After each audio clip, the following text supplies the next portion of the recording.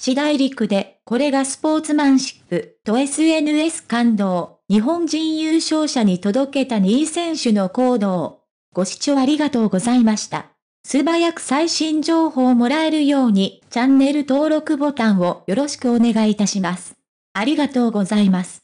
フィギュア四大陸選手権の舞台裏とは、フィギュアスケートの四大陸選手権が11日日本時間12日、米コロラド州コロラドスプリングズでペアフリーなどが行われ、ショートプログラム SP、首位の三浦璃来、木原龍一組、木下グループ、837.05点、合計208.24点で優勝した。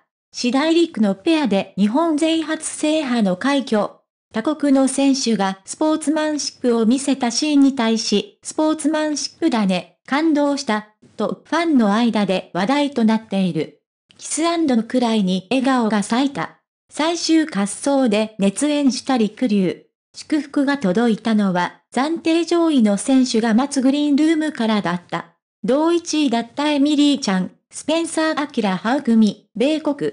ちゃんがカメラに向かってハートを作ると、ハウは膝をつき、鼻を差し出すポーズを取った後に両手でサムアップした。